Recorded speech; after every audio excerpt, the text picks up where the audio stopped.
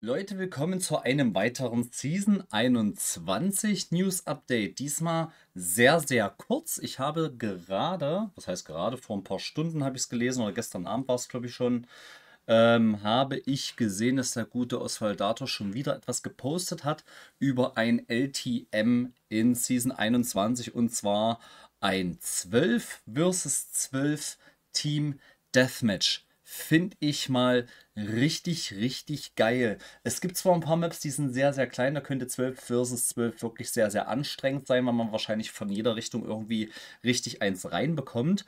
Ich habe leider auch die Mixtape-Varianten schon eine Weile nicht mehr gezockt, deswegen weiß ich auch nicht so genau, wie groß die aktuellen Maps alle so sind. Aber für ein 12 versus 12 könnte ich mir vorstellen, dass es verschiedene Arenen gibt aus den verschiedenen Battle Royale Maps, wo wir vielleicht einen größeren Bereich, einen größeren abgesperrten Bereich zocken können, äh, wo wir dann 12 gegen 12 auf den Standard-Maps, keine Frage, sicherlich auch eine richtig witzige und lustige Geschichte, weil 6 versus 6 ist auf manchen Maps wie dieser, wie hieße, Habitat heißt, glaube ich, diese, diese Map, ich bin mir jetzt nicht ganz sicher.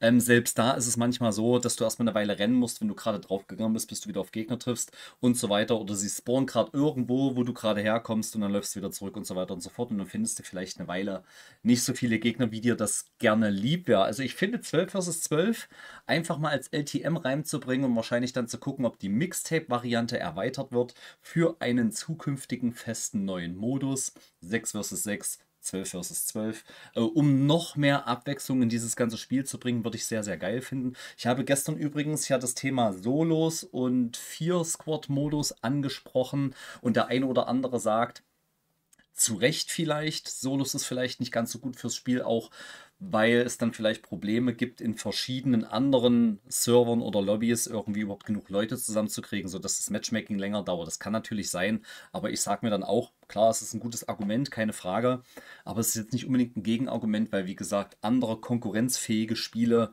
haben auch einen Solo-Modus und da funktioniert es auch. Also warum nicht auch in Apex Legends?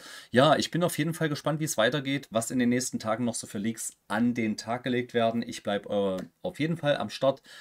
Ähm, ja, ich wünsche euch noch ein schönes Restwochenende. Bis die Tage. Haut rein. Ciao.